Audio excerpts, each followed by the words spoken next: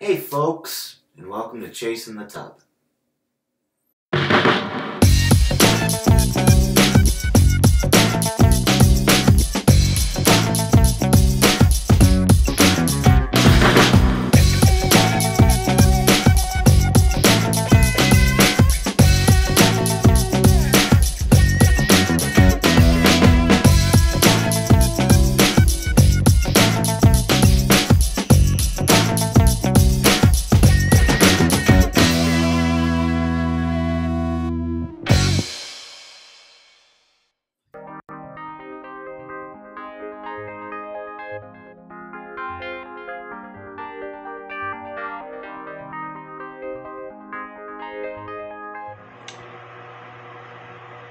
What's up, everyone? Chase the Tub here with another Bath Bomb demo and review.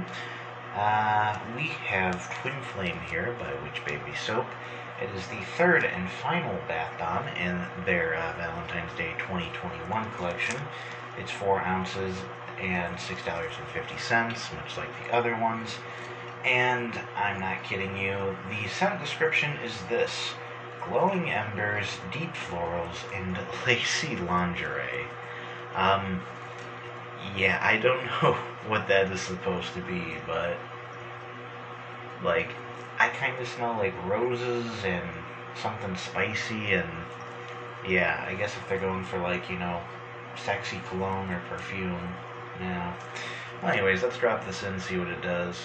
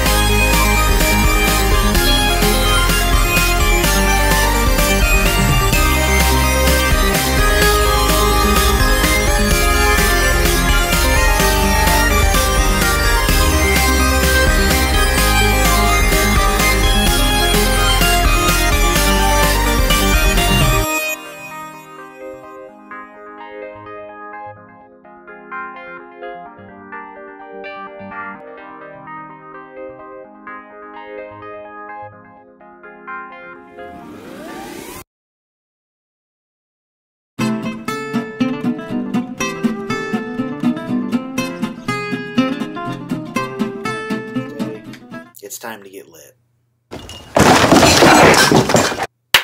Yes, folks, this is Twin Flame by Witch Baby Soap. So this one is 4 ounces, $6.50, and the scent is, well, I'm going to read how it's described on the website.